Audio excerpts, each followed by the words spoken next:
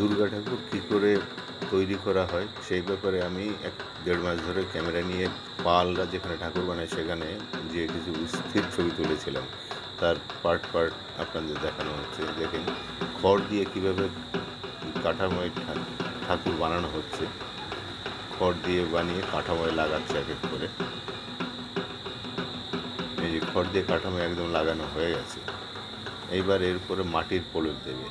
যে মাটির প্রলেপ লাগানো হয়েছে, আঙুর লাগানো হয়নি। এরপরে আঙুর লাগাবে এই যে আঙুর লাগানো হয়ে গেছে, তো মোটামুটি রেডি হয়ে গেছে। এটা শুকানোর পরে তারপরে আসবে রং করার পালা। সব মূর্তিগুলো মাথা লাগানো হয়েছে, মাথাগুলো লাগানো হয়েছে, শুকাচ্ছে, এখনও শুকায়নি। দুর্গা প্রায় রেডি হয়ে গেছে। এই যে মাটির যেখানে ফাটা আছে সেখানে মাটি দিয়েই আর পালিশ করে দিচ্ছে। এবার দুর্গাকে রং করা হচ্ছে। সমস্ত প্রতিমায় রং করা হচ্ছে। দুর্গার পুরো রং করা হয়ে গেছে। এভাবে শুকানো হবে দু তিন দিন। তারপরে একে শাড়ি পরানো হবে। ফাইনাল টাচ দিয়েছে। অসুরের রং করা হয়ে গেছে। সরস্বতী, লক্ষ্মী, এদের চোখ চোখ লাগানো হয়ে গেছে। এরা মোটামুটি রেডি হয়ে গেছে। এরপরে দুর্গার চক্ষুদান হবে মহালয়ের দিন, নেত্রদান এই দিন অপেক্ষা করতে সকালবেলা যেতে হয়েছে। যে পালমশাই এই যে চোখ নেত্রদান করছে। নেত্রদান, চোখদান হয়ে গেছে। এই যে চক্ষুদান হয়ে গেছে। মোটামুটি ঠাকুর রেডি শাড়ি ব্লাউজ পরানো হয়ে গেছে, শাড়ি পরানো হয়ে গেছে লক্ষ্মী সরস্বতী। এদিকে গণেশের ধুতি পরানো হয়নি। বাবাজি মোটামুটি রেডি গণেশ কার্তিক এখন ধুতি পরানো হয়ে গেছে। এরা একদম মণ্ডপে যাওয়ার জন্য রেডি হয়ে গেছে।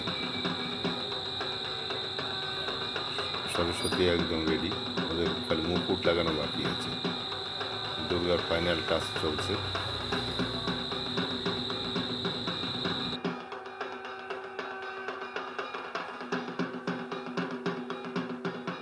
অসুরের সাজানো হয়ে গেছে।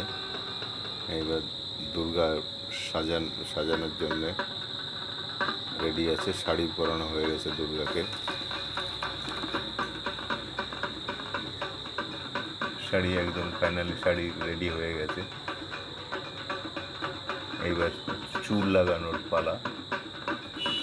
চুল লাগাচ্ছে পালে। হ্যাঁ চুল লাগানো হয়ে গেছে। একদম ঠাকুর গয়নাগাটি দিয়ে সাজিয়ে রেডি হয়ে গেছে মণ্ডপে যাওয়ার জন্য।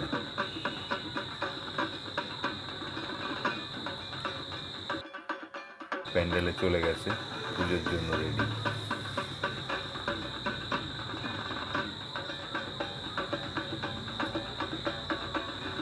বিভিন্নভাবে বিভিন্ন প্যান্ডেলের তারা একদম পুজো নেওয়ার জন্য প্রস্তুত হয়ে রয়েছে। পুজো এখনও শুরু হয়নি। পুজো শুরু হয়ে গেছে। দুর্গা ঠাকুরের দুর্গা ঠাকুরের আসল যে মূর্তি একদম ক্লোজ একটা সুন্দর ছবি। পুজো শেষ, এইবার বিসর্জনের পালা। একে একে জলের মধ্যে বিসর্জিত হচ্ছে। ঠাকুর, দুর্গা ঠাকুর তার ছেলে মেয়ে নিয়ে জলের মধ্যে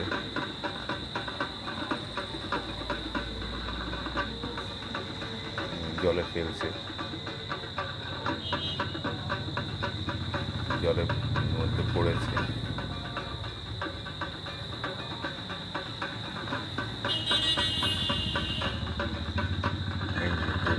জলে ডুবছে তার মূর্তিটা।